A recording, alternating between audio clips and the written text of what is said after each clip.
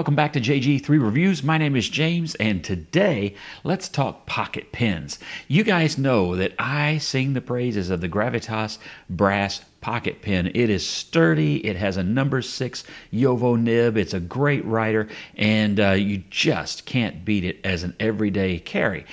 But it's summertime in Texas, and that means that, you know, it's anywhere from 95 to 105 pretty much every single day. And that means a lot of light polos, t shirts, shorts, and that means my summer EDC gets lighter and lighter. And while this is a great, terrific, durable pocket pen, it does weigh over 50 grams. And in the summertime, I hardly carry anything in my shorts pocket that is going to be 58 grams. My flashlight shrinks and gets even smaller, and my pocket knife gets even tinier. And that means that my pen probably also is going to have to be a little bit lighter. So, what do I carry now in the summer? Well, it has been the Kaweco Liliput. Comes in at 8 grams. It's a tiny little pen. It has some strengths and weaknesses. It's not a pen you want to write with for a long time. It's more of a quick note, kind of a jotting pen, but it is a great pen.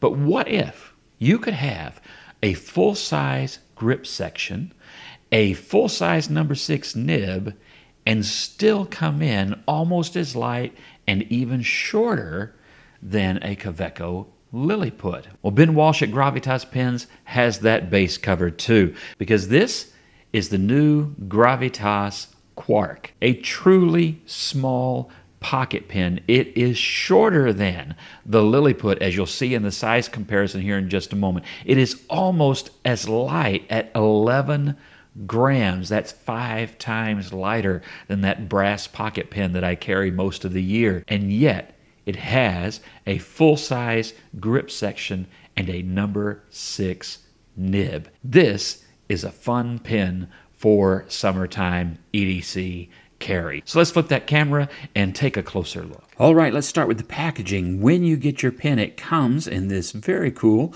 tube with a seal of authenticity and the number of your pen. And attached to that is a lanyard and a keyring holder for spare pen cartridges. It comes with two. Of course, one of those is already in the pen itself. And I like the packaging. I just think this is kind of fun. It speaks to the portable nature of the pen, and it's just a neat way to have done that. You can tell he put a lot of thought in it. You open up that tube which might look like it would hold a fairly small pen, but the tube really dwarfs the pen. This pen, I'm telling you, it is a small pen. Just to give you an idea, I've got a TWSBI Eco here handy, and you can see the TWSBI Eco in the size of my palm there, and then the Quark. I mean, this is a tiny pen, and it, it feels even lighter than it actually is. And looking at the design of the pen itself at the top, you have the Gravitas logo laser etched, and that looks quite good. And you can also see quite well how nice and precise the edge of this cap is. That's not sharp at all, and yet the machining is nice and crisp. Then you have the up arrow and and not much else going on with the cap. It does taper to about here and then straight down, running most of the length of the pin. As you come to that small barrel, as you see in a second, it comes straight down to those fine threads. And that brings us to one of the strengths of the pin We'll count turns here in just a second, but a weakness to me of the Kaweco Liliput, which I think would be strong competition to this pin, is the number of turns to go on and off. So that takes one, and then two, and then three, and then it finally comes off. And then you're going to do that again to post. That seems like nitpickiness to a lot of people, but if the pen is in and out of your pocket and you're making several notes through the day, it actually kind of does start to eat into your enjoyment of using the pen. So, how many turns does it take to take the cap off of the Quark? It takes less than one turn. Did you see that? Like a three quarter turn? Now to put the pin on in post is just two turns. Now I find on my pin, I've got to get that in there nice and straight. I don't want to damage those threads. and I get a little bit of a catch now and then. But two turns does put the pin to post it. And then look at what you've got. You've got a very decently sized pin that is not too small at all. And you have this really nicely shaped full length section, and so it's a very comfortable pen to hold. Now, one of the reasons that a lot of us like a number six nib on a pen is not just that it's a broader nib, that doesn't actually affect the performance of the pen most of the time, but for me, it is the length from the tip of the nib to where I'm holding the pen. With some pens, I just find that I write more comfortably and write better. This will change with your particular grip and uh, sometimes, you know, the size of the notebook, how high off the desk the paper is, thick the notebook, all that stuff. But that length is just a more comfortable length to write with. You're a little bit further away from the paper. Your hand rests differently than with a short nib and when you're down here. So that's one reason people like a larger nib. It just makes for a more comfortable writing experience, and I find that to be true with this pen. Where the Liliput is a comfortable enough pen for short writing sessions, this I can write with like any standard sized pen. That's been my experience so far, and so I really like that about the pen. All right, taking a look at the nib, it has that nice Gravitas logo, a great big B, so you remember that this one is a broad, and I love the idea of it writing with a broad line out of such a tiny pen. And then, of course, it is the JOWO compatible feed and nib unit, which is a part of the appeal of this small pen. Now, the barrel is tiny, okay? It is tiny. So you're not going to write with this pen without it being posted. And that's true for me with the Liliput and a few other pocket pens as well. So that's not a big deal. But it is something you're going to want to know. This is a pen you're going to need to post to write with. Unless, I mean, you're literally just making a little tick mark on a, a golf cart or something like that. There's no converter here. That's not going to happen.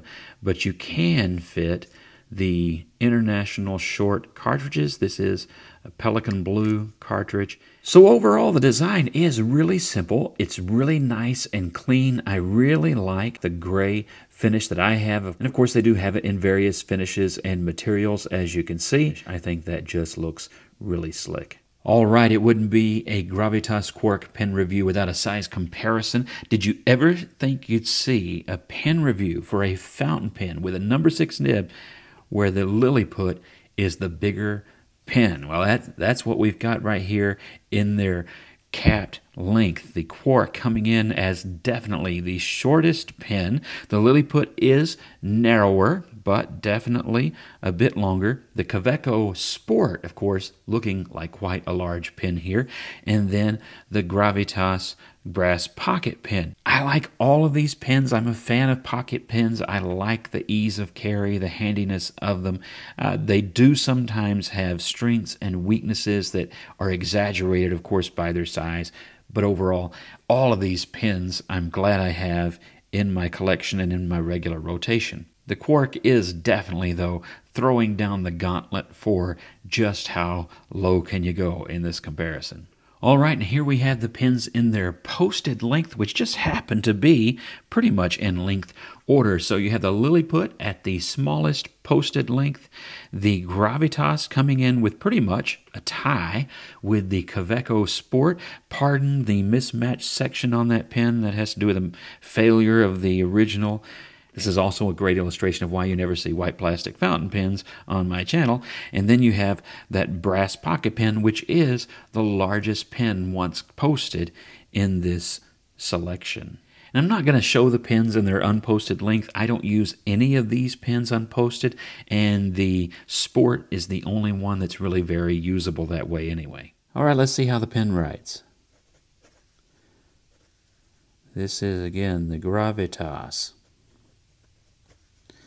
This is the quark.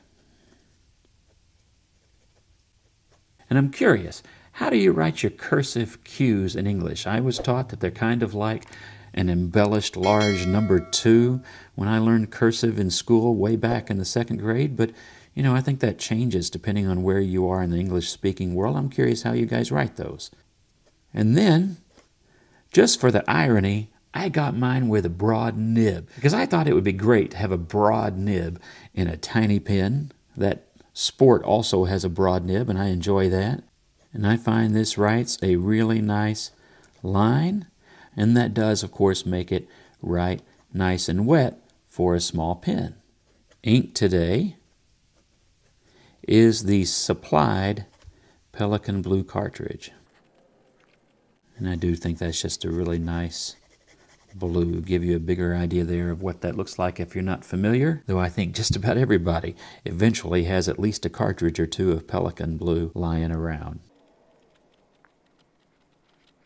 The pen just writes really well. That section really is just like a full-size pen. The only real thing you notice writing with it different from any other pen with a nice section and a six nib is the lightness of this pen. This entire pen, inked, is 11 grams. So you're talking about just a very light in the hand pen, but it's very comfortable and very easy to write with. And the grooves are really well done. In fact, let me do a close up here of that. You have here micro grooves. If you already have another Gravitas pen, you're going to find that these grooves are just a bit tighter. There is no slip on this metal section whatsoever. These grab on just like an extra set of fingerprints. It really is fantastic and as you can see, very well done. And while we're here, let's just get a little bit extra light on that broad nib and you can see that it is a, a generous broad tipping that we have here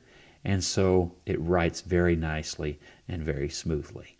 Now let's do a little bit of our speed test, all right? So this is this is like purposeful scribbling here. We're going to see if the pen can keep up in its ink flow.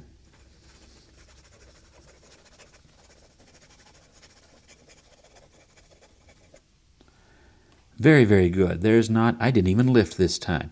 And there are no skips. That did just fine and kept up. All right, how about our serious quote of the day?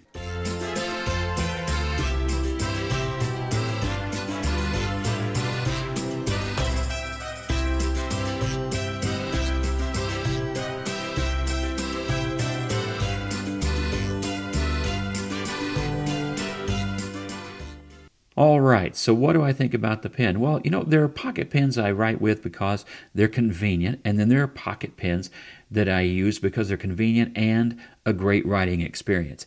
This pen is one of those, the brass pocket pen. It is a great writing experience, not just a convenient pen. I'm going to put the Quark right in there with it. Now, these two pens are really very different. They are at the opposite end of the scale when it comes to weight and a pocket pen. But they both bring some things to the table that I like. For this one, it is its near indestructible nature when capped. I can carry this in my pocket. I can throw it in the pocket with the keys and everything else. And as you can see, it only gets patina and better with age. No issues whatsoever. If something was going to go wrong with this, I feel like it would have, and it just never has. I love that pen.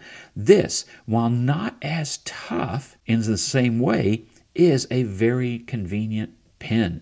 And the lightness of it makes it perfect for summer everyday carry. And so that's definitely where this is going to be. If you don't want to toss it in your pocket, throw it on that lanyard in that in the carrier that it comes with, which is based on a reusable straw carrier. So a lot of you are carrying those around already anyway. But I'm going to carry it like this in my pocket. I think that is just too convenient not to. If you want it to be stronger, more like this, but with the Quark's lightness and size, they do make it in titanium. So, you know, there is that as well. But yeah, I, I think this is great. I think it is convenient, handy. It's an interesting exercise in design and pen making, and I like it for that reason. And best of all is full size grip section, full size nib, and when posted, a full size writing experience and one that's enjoyable. And uh, I, I, actually I would recommend that broad nib. It's nice and smooth and writes really well. And you know, a little bit of a surprise factor to have a pen that writes such a nice broad line in such a tiny pen. All right, what do you think? Do you have one? Share your experience. If you don't, what's got you on the fence? If this pen is for you or not for you, share that in the comments below. And as always, thank you very much for watching. Thank you for liking and subscribing, and God bless you, and have a great week.